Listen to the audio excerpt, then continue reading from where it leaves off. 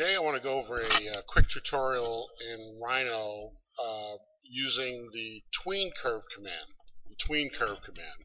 The tween curve command is a command that allows you to take two control curves that you define, two control curves that you define, and then it allows you to generate a series of curves that exists between those two curves, hence the name tween curve. It's sort of a uh, variation on the um, blended uh, tool command within uh, blended blended component command within Illustrator.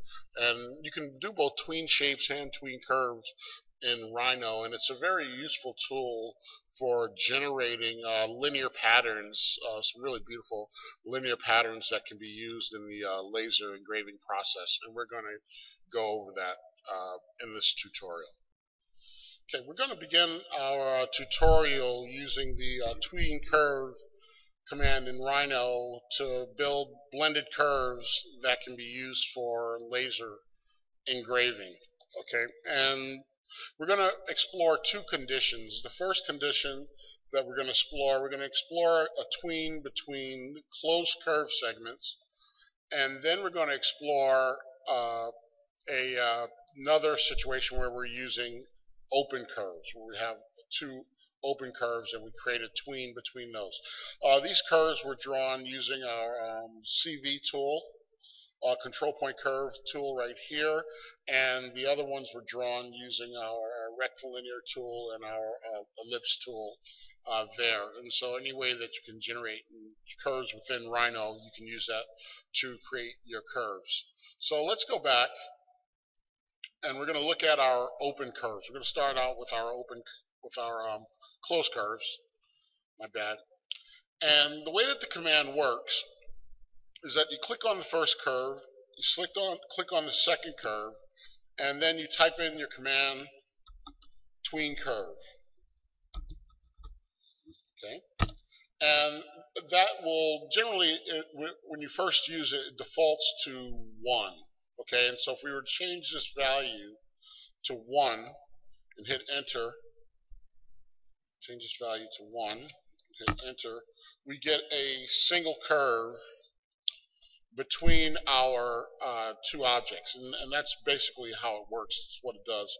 Um, but if you increase that value, so if we change the number to 30, you get a nicer transition between the two curves. Now you can click on this control point which sort of reverses the direction of the tweening operation uh, and you can usually click on this to get what you want.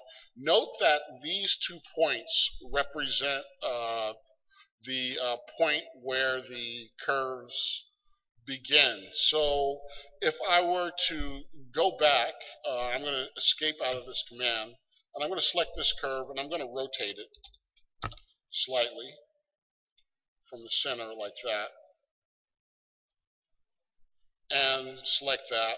And if I then go over here and grab my tween curve command again, you notice that I get a nicer transition here. But I lose that sort of twist that I like there. So I'm going to escape out of this, select this, and I'm going to rotate it again. Um, and rotate it back so I get that sort of like twisting motion in the curve, between the two curves. And so I select that, and I'll come over here, and you can get your tween curve command also from your curve menu, coming down here to tween curve, and it'll execute the command there like so. Okay, and uh, usually a match method refit works very well for uh, the purpose that we're doing. Uh, and then once we've done that, we can then go and select these two curves and using our tween curve command, we can get a nice transition between those two. So you can do it through uh, multiple multiple um, shapes if you if if you like. Um, another thing that we can do, another way that this can be um, utilized, uh, and I'm going to go back here, and what I'm going to do is that I'm going to turn on my record history here. Uh, and then when I turn on my record history, what I can do once I select my tween curves like so, they become, and run my tween curve command, I get the, the tween between those. And now if I then go, and I'm going to accept that, but now I'm going to go over here and I'm going to turn my um, points on. So I have my control points for my curves turned on. And I can take my control points and I can move those. And you notice that the curves update to that new point information. So you can use your CVs to shape your curves. And when we do our single point curve, you'll see how this becomes uh, a very useful tool for adjusting your shape. And then once we do that, um, I can then select, turn my points off, select my curves, run my tween curve command between those two, and on and on it goes. So it's it's really uh, nice dynamic things uh, that you can do uh, if once you record history and continue to sort of use these uh, tween curves. Now those are the tween command, tween curve command with uh, closed curves. I'm going to turn those off right now. And I'm going to open up my open curves and I'm going to select this curve. I'm going to select this curve. Wait, let me turn on my record history first because I want to take advantage of that with these. I'm going to select this curve first and notice that it loops around like that and this one loops around like that.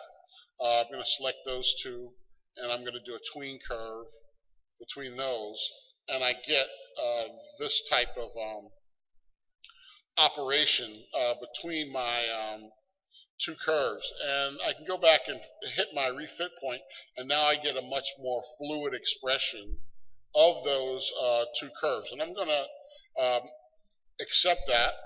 And now I'm going to go back and I'm going to turn my points on once again. And once I've done that, I can go in and by manipulating my control point curves, I can really shape uh, the dynamics of the interactions of, of the curves within the composition, uh, within the composition. And by doing this, you know, you can create uh, your compositions. This represents uh, the, uh, the, the field uh, for my um, laser bed, and I can crop this so that I activate the parts of my, my, my, canvas that I want to activate.